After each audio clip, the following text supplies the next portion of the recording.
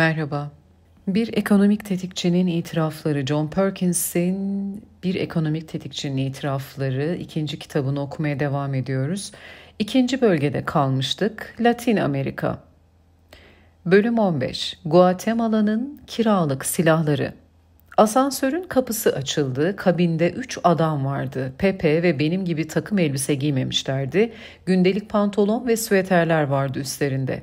Biri deri ceketliydi ama asıl dikkat çeken şey silahlarıydı. Üçü de AK-47 Kalashnikov taşıyordu. Maalesef bugünlerde Guatemala'da gerekli bir şey, dedi Pepe. Kabine önden girmem için elini uzattı. En azından ABD'nin dostları demokrasinin dostları için Maya katillerimize ihtiyacımız var. Miami'den Guatemala City'ye önceki gün uçmuş ve kentin en lüks oteline yerleşmiştim. Daha sonraları ismini bir ekonomik tetikçinin itirafları bir kitabımda açıklamamamı isteyecek olan Stone ve Webster mühendislik firmasının yani SWEC'in bir işi için oradaydım. Pepe Jaramillo, gerçek adı değil tabii ki, SWEC ile şirketin ülkesinde sahibi olacağı elektrik santrallerinin yapımına yardımcı olmak üzere bir anlaşma imzalamıştı. Pepe, en varlıklı sınıfın ülkeyi İspanyol fethinden bu yana denetimi altında tutan küçük elitler grubunun güçlü üyelerinden biriydi. Ailesi organize sanayi sitelerinin, ofis binalarının, konut komplekslerinin ve ABD'ye muz, kahve ihraç eden uçsuz bucaksız tarım alanlarının sahibiydi. Swek'in perspektifi açısından önemli olan adamın paraya ve Guatemala'da işleri yoluna koymak için gerekli siyasi nüfuza sahip olmasıydı. Guatemala'ya ilk kez 1970'lerin ortalarında bir ekonomik tetikçi olarak hükümeti elektrik sektörünü geliştirmek için borçlanmaya ikna etmek üzere gelmiştim. 1980'lerin sonlarına doğruysa Maya toplumuna çok küçük ölçeklerde kalkınma kredisi verecek bankalar düzenlemeyi ve halkın alt kesimini yoksulluktan kurtarmaya yönelik başka girişimlerde bulunmaya amaçlayan bir sivil toplum örgütünün yönetim kuruluna katılma daveti alınca ziyaret ettim. Aradan geçen yıllarda 20. yüzyılın ikinci yarısında ülkeyi paramparça eden trajik şiddete dair çok şey öğrenmiştim. Bunun geçmişi Pepe'nin konkistador atalarının 16. yüzyılda İspanya'dan gelişine kadar dayanıyordu. Guatemala o zaman kabaca bin yıldan beri gelişmekte ve serpilmekte olan Maya kültürünün yüreğiydi. Konkistadorlar 1524'te işgal ettiğinde uygarlık bir çöküş dönemindeydi ve çoğu antropoloğa göre bunun nedeni harikulade kentsel yerleşimlerinin çevreye zarar verecek şekilde gelişmesiydi. Guatemala kısa zaman içinde İspanya'nın Orta Amerika'daki askeri etkinlik merkezi haline geldi. Bu konum 19. yüzyıla kadar korundu. Maya ve İspanyol nüfuslarının sık sık çatışmaya başlamasıyla düşüşe geçti. 1800'lerin sonuna gelinirken Boston merkezi United Fruit şirketi İspanyolları kendi oyununda yendi ve Orta Amerika'nın en büyük güçlerinden biri haline geldi. 1950'lerin başına Jacobo Arbenz, Amerikan devrimi ideallerinin yankısı sayılabilecek düşüncelerle başkanlık seçimlerine adaylığını koyana kadar en üstün ve genelde rekabetle karşılaşmayan bir unsur olarak egemenliğini sürdürdü. Arbenz toprakların halkına sunduğu kaynaklardan Guatemala'nın kendisine yararlanması gerektiğini, yabancı şirketlerin ülkesini ve halkını sömürmesine artık izin vermeyeceğini söylüyordu. Başkan seçilmesi tüm yarı kürede bir demokratik gelişim süreci olarak selamlandı. O sırada toprakların %70'i ülke nüfusunun %3'ünden azını oluşturan elitlerin ve yabancı şirketlerin elindeydi. Arbenz doğrudan United Fruit'un Guatemala'daki operasyonlarına yönelen kapsamlı bir toprak reformu başlattı. Amerika'nın önde gelen meyve ithalatçısı bu şirket reformun başarılı olması halinde yarı küredeki hatta belki dünyadaki diğerlerine de bir örnek oluşturmasından korkuyordu. United Fruit böylece ABD'de büyük bir halkla ilişkiler kampanyası başlattı. Amerikan kamuoyunu ve kongreyi Arbenz'in Guatemala'yı bir Sovyet uydusuna dönüştürdüğü ve toprak reformu programının Latin Amerika'da kapitalizmi yok etmeye yönelik bir Rus komplosu olduğuna inandırdı. CIA sonunda 1954 yılında bir darbe düzenledi. Amerikan uçakları başkenti bombaladı. Demokratik yollarla seçilmiş olan başkan alaşağı edildi ve yerine acımasız sağcı, askeri diktatör Albay Carlos Castillo Armas getirildi. Yeni yönetim derhal toprak reformunu geri döndürdü, şirketin ödediği vergileri kaldırdı, gizli oylama yöntemini iptal etti ve Castillo'yu eleştiren binlerce kişiyi hapsetti. 1960'da Guatemala Ulusal Devrimci Birliği adı verilen hükümet karşıtı gerilla grubuyla ABD destekli ordu ve sağcı ölüm mangaları çarpışmaya başladı. İç savaş patlak verdi. Şiddet 1980'ler boyunca çoğu maya olan yüz binlerce sivilin katledilmesiyle sonuçlanacak şekilde tırmandı. Başka birçok maya da hapsedildi, işkenceden geçirildi. Ordu 1990 yılında yüksek irtifa gölü olan ve Güney Amerika'nın en güzel yerlerinden biri olarak bilinen Atitlan Gölü yakınındaki Santiago Atitlan'da sivillerle yönelik bir kıyım yaptı. Benzer birçok katliamdan sadece biri olmasına karşın bu olay yabancı turizm açısından popüler bir yerde gerçekleşmesi nedeniyle uluslararası basında manşetlere çıktı. Görgü tanıklarının bildirdiğine göre olay bir grup mayanın askeri üsse doğru yürüyüşe geçmesiyle başlamıştı. Bir komşuları ordu tarafından kaçırılan ve onun da resmen kayıp ilan edilen binlerce kişi arasında yer almasından endişe eden mayalar adamın serbest bırakılmasında diretiyordu. Ordu içinde kadınların, çocukların ve yaşlıların da bulunduğu kalabalığın üstüne ateş açtı. Gerçek rakamlar her ne kadar tartışmalı ise de düzinelerce insan ağır yaralandı ve hayatını kaybetti. Benim Pepe Jaramillo ile buluşmak üzere yaptığım, yol, yaptığım yolculuk olaydan kısa bir süre sonra 1992'de gerçekleşti. Pepe, Atitlan Gölü'nün kıyısında bir jeotermal proje gerçekleştirmek istiyordu. Swag ise bu projede onun ortağı olmayı ciddi şekilde düşünüyordu. Mayalar ile birlikte çalıştığım sivil toplum örgütü projesinden onların yeryüzünün bir ruha sahip olduğuna inandığını ve buharın yüzeye çıktığı yerleri kutsal addettiğini biliyordu. Swag'in benden istediği şey yapmayı kabul etmemin nedenlerinden biri de jeotermal gayzerler üzerinde santral kurma girişiminin şiddet hareketleriyle sonuçlanacağından duyduğum endişeydi. United Fruit deneyiminden ve gerçekleşme, gerçekleşmesini dikkatle izlediğim İran, Şili, Endonezya, Panama, Nijerya, Irak olaylarından da yola çıkarak Swag gibi bir Amerikan şirketinin Guatemala gibi bir yerde yardıma çağırması halinde CIA'in ortalık ta boy göstereceğine inanmak için yeterli nedenim vardı. Şiddet tırmanacaktı. Pentagon deniz piyadelerini gönderebilirdi. Vicdanımda yeterince kan lekesi vardı. Daha öte kargaşalıkları önlemek için elimden gelen her şeyi yapmakta kararlıydım. O sabah bir araba beni otelimden almış, Guatemala City'nin en etkileyici ve modern yapılarından birinin önündeki dairesel araç yoluna getirip kapıda bırakmıştı. İki silahlı görevli beni içeri aldı. Biri asansörde en üst kata kadar bana eşlik etti. Yukarıya çıkarken bana binanın Pepe'nin ailesine ait olduğunu, 11 katın tamamının onlar tarafından kullanıldığını anlattı. Ticari bankaları zemin katında, çeşitli işlerin merkezini oluşturan bürolar 2 ve 8 arasında, daire kon aile konutları ise 9, 10 ve 11. katlardaydı. Pepe beni asansörün kapısında karşıladı. Kahvelerimizi içtikten ve kısa bir giriş sohbetinden sonra beni binada dul annesine tahsis edildiğini söyleyerek benim başka nedenlere de bağlı olduğundan kuşkulandığım 11. kat hariç bir gezintiye çıkarttı. Bu gezintinin amacı Süvek temsilcisini etkilemek idiyse hedefe ulaşmıştı. Ardından 5. katta çok sayıda mühendise yapacağımız ve beni jeotermal proje konusunda bilgilendirecek bir toplantıya katıldık.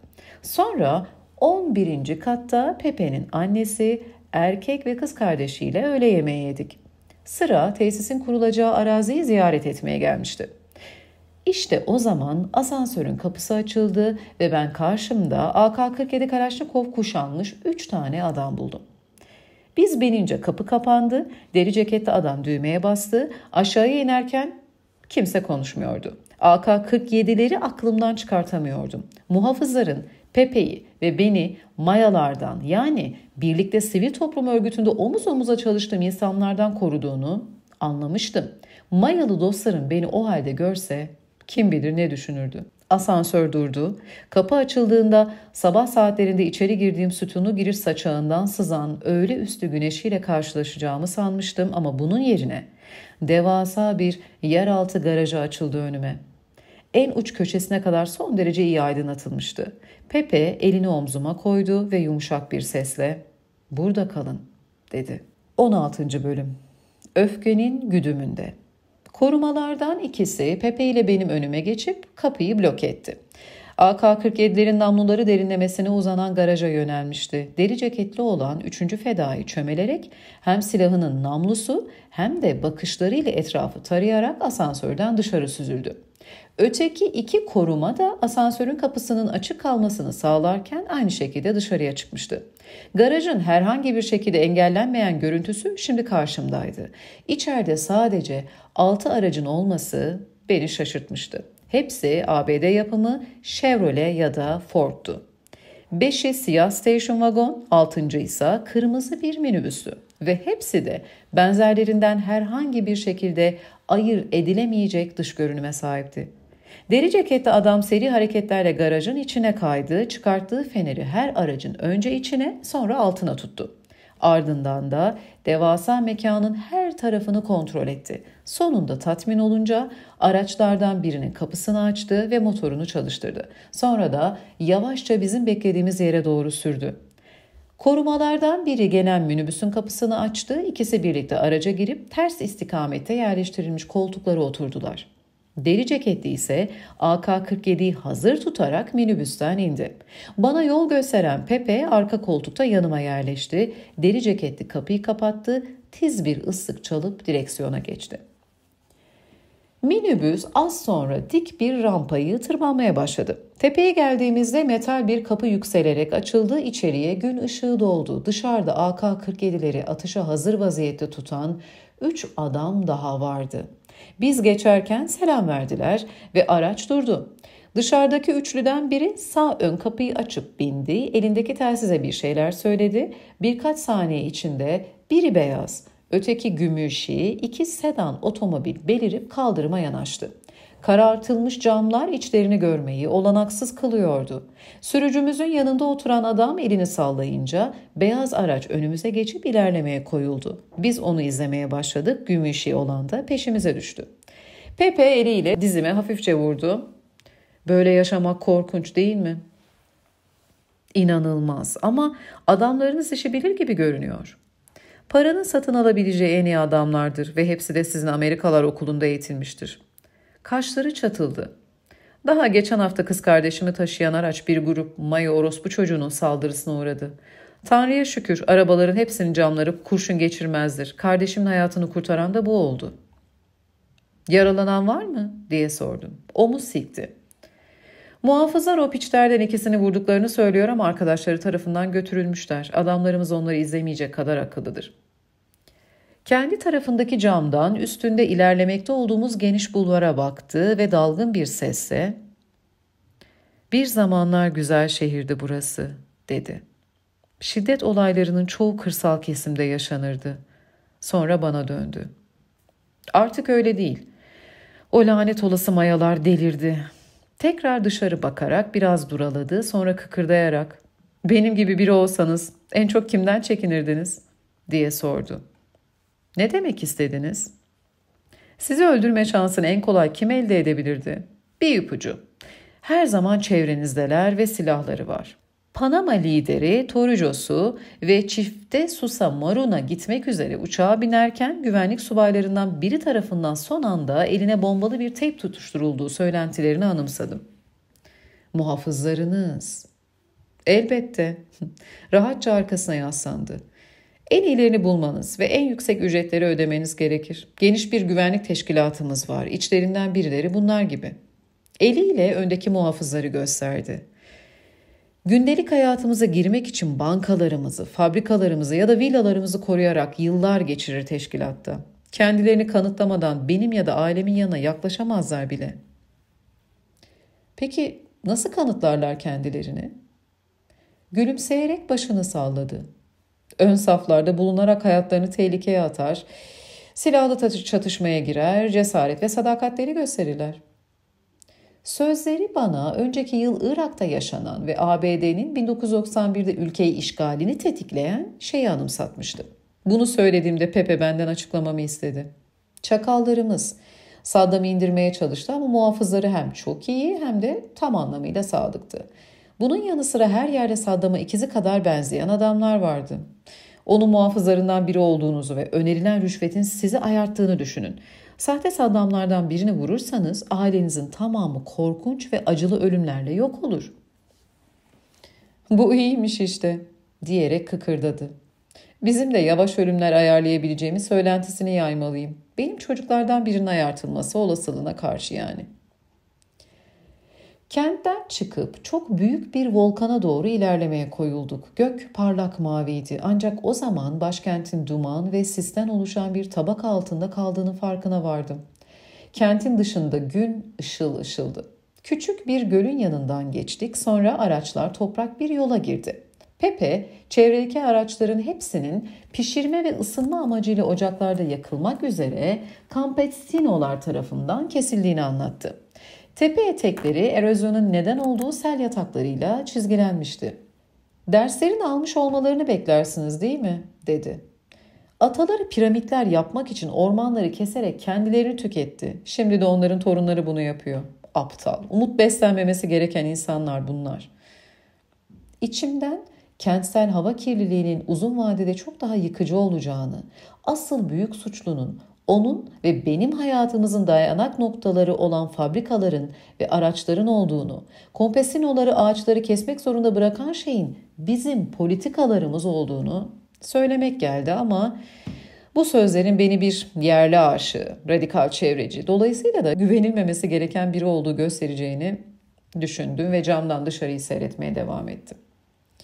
Çıplak çevre manzarası bana bir Maya şamanı ile konuşmak için geldiğim zamanı anımsattı. Bir sivil toplum örgütü Maya şamanını sonraki genel kurulun açılışında tören yapması için ikna etmemizi istemişti.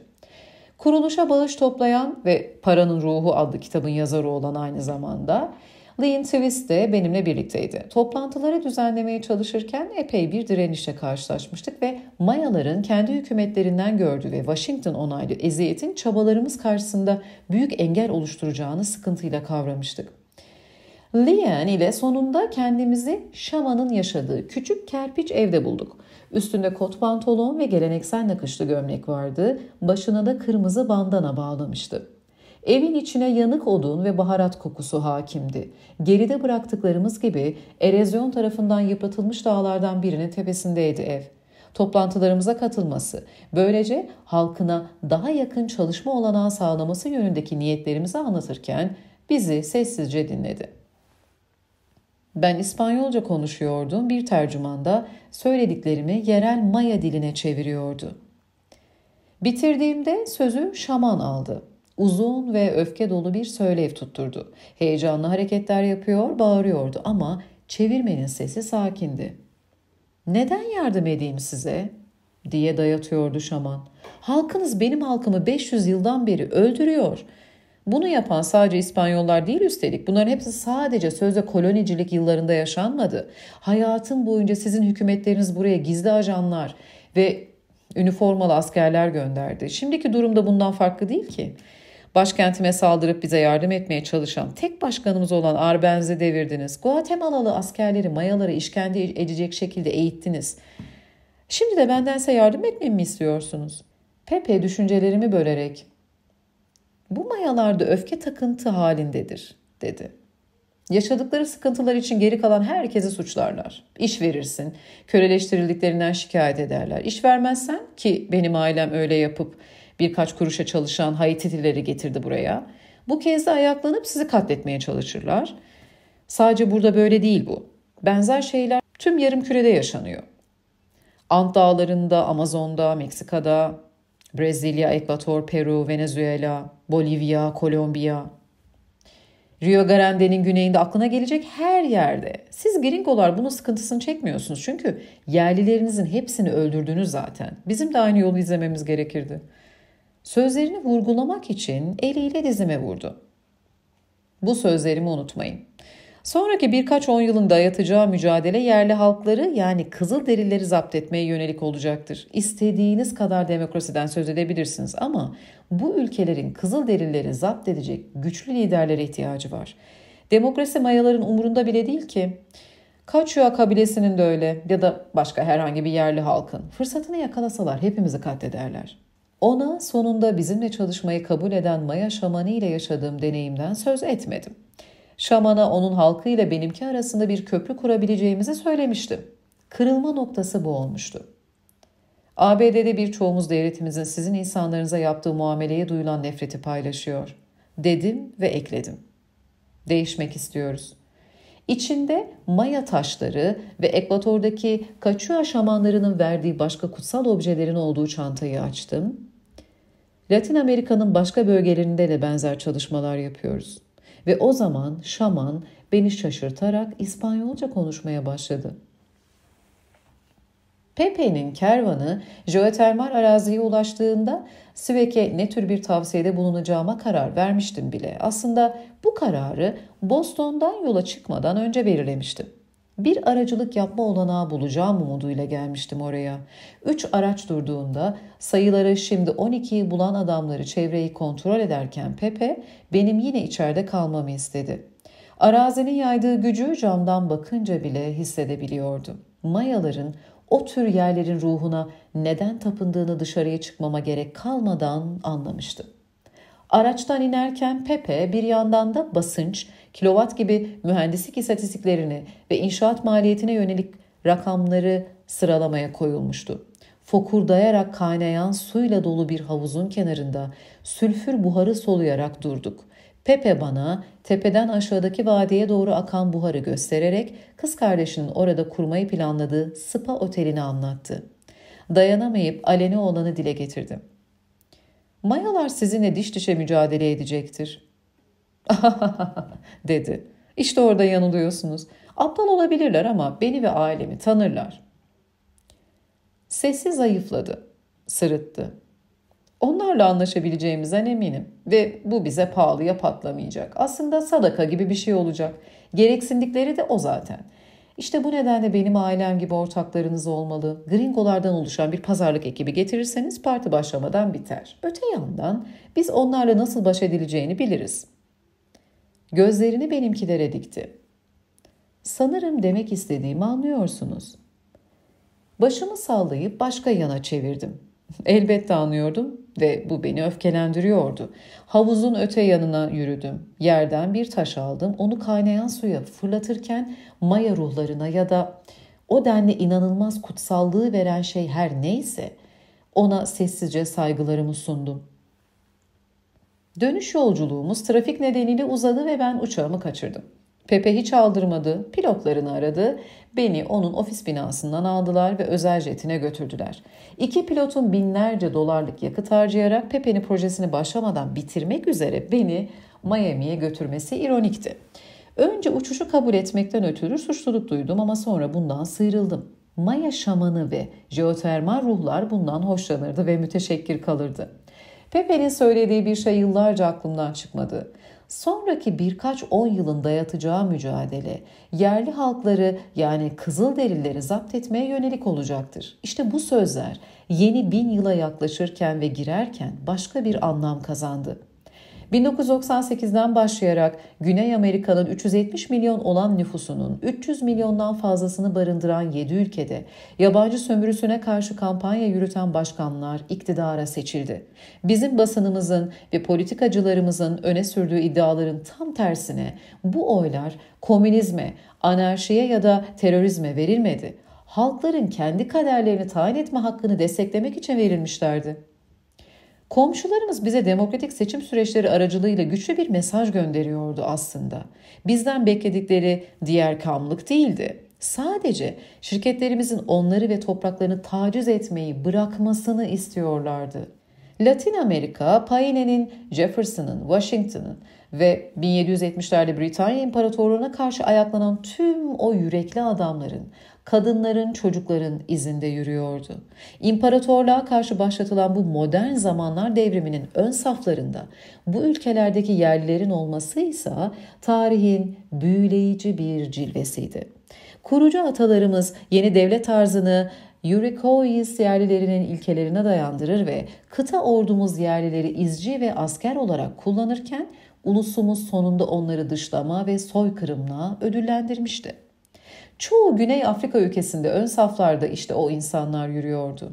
Yeni bir kahramanlar nesli doğuyordu. Her ne kadar Kolombiya öncesi kültürlerden gelseler de bu önderler seçmenlerini ırk, kalıtımsal miras ve din ayırt etmeden kalabalıklar içinde ya da ülkenin uzak köşelerindeki çiftliklerde yaşadıklarına bakmaksızın yoksul oy kullanma hakkından mahrum edilmiş insanlar olarak görüyordu. Bu başka hiçbir yerde Bolivya'da olduğu kadar açık ve net değildi. 2005'te yapılan Bolivya başkanlık seçimlerini izlerken Pepe'nin neler hissettiğini merak ediyordum. Son derece mütevazi bir altyapıya sahip olan Aymara yerlisi bir çiftçinin ezici çoğunlukla seçimi kazanmasına nasıl tepki vermişti? Evo Morales'in devlet başkanı olarak zaferi Pepe'nin en kötü kara basanının gerçeğe dönüşmüş haliydi. Seçim sonrası kutlamaları televizyonda izlerken Bolivya'nın en güçlü kişisi olmamı sağlayacak işin teklif edildiği zamanlara döndüm. O şeyin yaşanış şekli şirketokrasinin tavrını ve edimlerini tablo gibi ortaya vuruyordu. 17. bölüm Bolivya'da gücün başına getirilmek üzere. Bolivya imparatorluklar tarafından sömürülen ülkeler için bir sembol niteliğindedir. 1968 yılında Kaliforniya'daki Escondido Barış Gönüllüleri Eğitim Kampı'nda eğitmenimizin söylediği bu sözler beni adeta çarpmıştı. Eğitmen Bolivya'da yaşamıştı ve asırlardan beri kesintisiz süren baskının ülkeye nelere mal olduğunu anlatarak bizi derinden sarsıyordu. Eğitimimi tamamlayıp gönüllü olarak Ekvador'da çalışırken sık sık düşündüm Bolivya'yı, Peru, Şili, Arjantin, Paraguay ve Brezilya ile çevrili, denize açılımı olmayan bu ülkenin haritada bir çöreğin ortasındaki delik gibi görünmesi beni büyülerdi. Barış gönüllüleriyle birlikteyken Bolivya'nın Paraguay haricindeki tüm komşularını ziyaret etmiştim. Paraguay ise diktatörü General Alfredo Stroessner'in Nazi SS subaylarını himaye politikaları nedeniyle kişisel olarak protesto ediyordum. Ayrıca bu ülkeden dikkatle uzak durmamın bir nedeni de gringoların izindekiler olarak andığımız ve zaman zaman bizimle kalan genç Kuzey Amerikalıların orayı kendi topraklarındaki yerlilere, Ekvador'dakinden bile daha acımasız davranılan bir ülke olarak tarif etmesiydi. O zamanlar herhangi bir yerin Ekvador'u kendi kategorisinde geride bırakması mümkün değil gibi görünüyordu bize. Ülkenin yerli halkı varlıklı elitler tarafından insan olarak bile kabul edilmiyordu. 10 yıllar önce ABD'deki Afrika kökenli Amerikalılar gibi her türlü toplumsal haktan yoksundular. Varlıklı gençlerin yaptığı bir spora dair söylentiler yaygındı. Yasa dışı bir şey yaptığı, örneğin açlıktan ölmenin eşiğindeki ailesini beslemek için bir çiftlikten mısır çaldığı anlaşılan Kızılderili'yi yakalıyor, koşmasını emrediyor, sonra silahla vurup indiriyorlardı. Amazon'daki petrol şirketlerinin paralı askerleri de benzer infazlar yapmıştı ama onlar kurbanların silahlı mücadele içindeki teröristler olarak görüyordu. Yine de Ekvador'daki tüm baskıya rağmen Bolivya anlaşıldığı kadarıyla çok daha kötüydü. Bu durumu kamuoyu Arjantinli doktor Che Guevara'nın baskı rejimlerine karşı mücadele için Bolivya'yı savaş cephesi olarak seçmesiyle duymuştu. Ülkenin egemen sınıfı Washington'ın yardımını istedi. Che, insanlık dışı bir yaratık ya da terörist ilan edildi. Küba tarafından desteklenmesi nedeniyle fanatik komünist kategorisine sokuldu. Washington onun peşine en yetenekli çakallarından birini saldı. CIA ajanı Felix Rodriguez 1967 yılı Ekim ayında Che'yi Bolivya'daki La Higuera ormanı civarında yakaladı. Rodriguez saatler süren bir sorgulamadan sonra Bolivya ordusunun baskısıyla ölüm emrini verdi. Bundan sonra şirketokrasisinin Bolivya'yı saran pençesi iyice sıkılaştı. Sonunda 1970'lerin ortalarında bir ET olarak gitmeden önce Bolivya'yı araştırdım baskı rejiminin düşünebildiğimden çok daha ötelere gittiğini, barış gönüllülerindeki eğitmenimin ve öteki öncü gringoların ancak yüzeydeki ince tabakayı kazıyabildiğimi anladım. Ülke tarihi kaydedilmeye başladığından beri şiddetle yoğrulmuş. Bir imparatorluğun kurbanı olmaktan çıkarken başka bir pervasız despotun eline düşmüştü. Bolivya'nın yerli kültürleri 13. yüzyılda İnkalar tarafından fethedilmişti. İspanyol konkistadorlar 1530'da gelmiş, İnkalara boyun eğdirmiş ve 1825'e kadar demir yumruk kullanarak ülkeye egemen olmuştu. 1879 ila 1935 döneminde yaşanan bir dizi savaştan sonra Bolivya, Pasifik kıyısını Şili'ye, petrolce zengin Chaco bölgesini Paraguay'a ve kauçuk ağaçlarını yetiştirdiği ormanlarında Brezilya'ya kaptıracaktı. 1950'lerde Victor Paz Antensero'nun yönetimi altındaki reformcu bir hükümet yerli çoğunluğun yaşam şartlarını geliştirmeye ve halk üstünde baskı uygulayan kalay madeni işletmelerini millileştirmeye kalkıştı. Uluslararası iş dünyası büyük öfkeye kapılmıştı. Estensoro yönetimi 1964'te askeri junta tarafından yıkıldı. Darbeye hiç de şaşılmayacak şekilde CIA'de karışmıştı. Darbeler ve karşı darbeler 70'te yıllar boyunca Bolivya'nın üstünden hiç eksik olmadı. Bolivya'nın coğrafyası bile ülke için bir baskı unsurudur. İki paralelle bölünür ve Ant Dağları ile birbirinden özellik olarak ayırt edilebilen üç bölgeye ayrılır. Alti plato olarak da bilinen kurak ve yerleşim imkanı vermeyen yüksek plato, batıdaki yarı tropik vadiler ve doğudaki alçak arazilerle yağmur ormanları. Bolivya'nın 9 milyonluk nüfusunun büyük bölümünü geleneksel olarak Antların rüzgar alan eteklerindeki çiftliklerde geçimine kıt kanaat sağlayan yerliler oluşturur. Ülkenin etnik çeşitliliği yansıtan üç resmi dili vardır. Kaçua, Aymara ve İspanyolca. Her ne kadar gümüş, kalay, çinko, petrol, hidroelektrik potansiyel gibi zengin kaynaklara sahip olsa ve Venezuela'nın ardından Güney Afrika'daki en büyük en büyük doğal gaz rezervlerini topraklarında barındırsa da Bolivya yarı kürenin en yoksul ülkesidir. Ayrıca IMF'nin yapısal ayar paketinin uygulamaya koyduğu ilk yerlerden de biridir ve bunda benim sorumluluğum olduğunu da kabul etmem gerekir. 1970'lerin ortalarında Bolivya'ya geldiğimde Çey'nin mirasından ilham alan korku, ekonomik elitlerle ordu arasında ülkenin yerli halkına zulmetmeye yönelik bir koalisyonun doğmasına neden olmuştu. Benim görevim biz ekonomik tetikçilerin bu koalisyonun şirketokrasiyle daha sıkı entegre olmasını sağlayacak yolları araştırmaktı. Farklı kesimlerden gelen Bolivyalılar ile yaptığım toplantılar sırasında daha sonra yapısal ayar paketleri tarafından 1980'ler ve 90'larda benimsenecek olanlara benzer bir dizi fikir ürettim. Endonezya'nın Suharto'su gibi Bolivya'yı yönetenler de ülkelerinin kaynaklarını yabancılara satmaya dönük programları kabule çoktan hazırdı. Yabancı maden şirketlerine teslim olmayı ve bundan kar sağlamayı amaçlayan bir yaklaşımın hakim olduğu uzun bir tarihe sahiptiler büyük borçların altına girmişlerdi ve kendilerini hem komşularından ve geleneksel düşmanlarından hem de ülkenin yerli halkından gelecek etkileri açık hissediyorlardı. Washington'dan koruma sözü ve süreç içinde zenginleşeceklerinin vaadini istiyorlardı. Suharto örneğini izleyerek servetlerini ABD ve Avrupa'da yatırıma yöneltecek ve böylece kendilerini gelecekte Bolivya'da patlayacak ekonomik krizlerden yalıtacaklardı. 1970'lerde yaptığım ilk toplantılardan sonra Bolivya'nın özelleştirme için olgunlaşmış hale geldiği sonucuna vardım. La Paz'ın iş, adamları ve politikacıları ekonominin ana sektörlerini yabancı yatırımcılar için açık arttırmaya çıkarmıştı. En başta madencilik şirketleri tarafından oluşturulmuş modeli yaymakta iştahlıydılar. Bu her ne kadar ülkenin egemenliğini satışa çıkarmakla eş anlamlı olsa da onları su, kanalizasyon ve elektrik altyapılarının, taşımacılık ve iletişim ağlarının hatta eğitim ve adalet sistemlerinin geliştirilmesi için gerekli fonları, vergiler, sermaye piyasaları ve kendi banka hesapları aracılığıyla oluşturma yükünden kurtaracaktı. Ayrıca benim yardımımla karlı taşeronluk işleri alacaklarını, çocuklarının ABD'de tüm giderleri karşılanarak eğitim göreceğini, dahası mezun olduktan sonra ülkenin en prestijli mühendislik ve inşaat firmalarında çok yüksek maaşa staja başlayacaklarını anlamışlardı. Yabancı yatırımcılara vergi teşviki getirecek ve ABD ithal mallarına yönelik ticaret bariyerlerinin indirilmesini, Aynı zamanda bizim Bolivya mallarına olan kısıtlama tedbirlerimizi kabullenmelerini sağlayacak yasaları heyecanla onayladılar.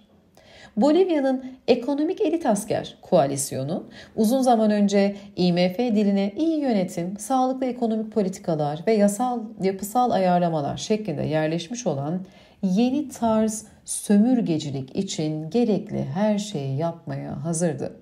Hükümet ortak girişimlere izin verecek, yabancı sermayeyi ülkeye çekecek ve kambiyo dönüşümleri üstündeki sınırlamaları kaldıracak yasaları meclisten geçirdikten sonra Bolivya'nın en büyük 5 devlet kuruluşunun özelleştirilmesi fazla zaman almadı.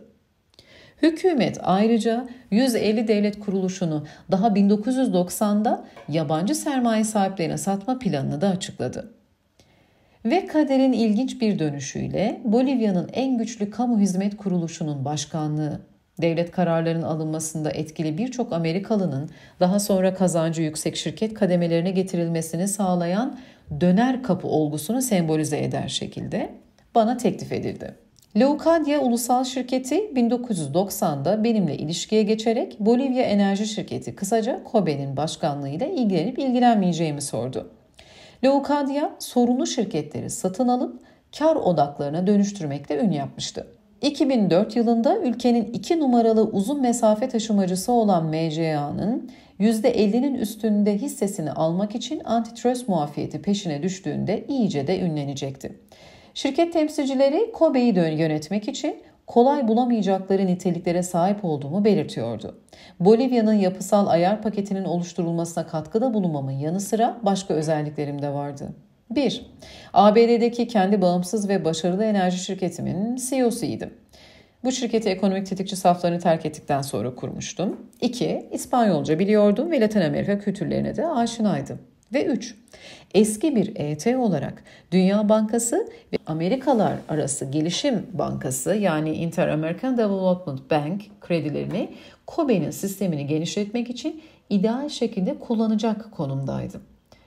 ABD'nin doğu kıyısında sürdürülen mülakatlardan sonra Leco diye beni, eşim Winifred'i ve 7 yaşındaki kızımız Jessica'yı şirketin CEO'su Ayn Cumming ile eşinin yılın büyük bölümünü geçirdiği Salt Lake Seti'deki malikanesine götürdü. Birçok yöneticinin katıldığı tanışma toplantılarından sonra Cumming ailesinin salonunda verilen ve servisi ailenin şef aşçısıyla garsonları tarafından yapılan yemeğe katıldık. Ardından Ian ile ben özel bir görüşme yapmak üzere onun çalışma odasına çekildik. Bir ara Ian'ın yardımcılarından biri konuşmamızı özür dileyerek kesti. La Paz'dan bir faks geldiğini, İspanyolca çevirmenin rahatsızlığı nedeniyle doktora gittiğini, benim yardımcı olacağımı umduğunu açıkladı. Mesajı İngilizceye çevirerek yüksek sesle okurken yabancı dil yeteneklerimin sınanıp sınanmadığını düşünmeden yapamadım. Anlaşıldığı kadarıyla o sınavdan ve ötekilerden geçmiştim. Salt Lake City ziyaretinden kısa zaman sonra Lecodia, üçümüzün de katılacağı bir Bolivya yolculuğu düzenledi. Bölüm 18 La Paz'da karı en üst düzeye çıkartmak. Bu bölüme izninizle daha sonra devam edeceğim. Buraya kadar dinlediğiniz için teşekkür ederim.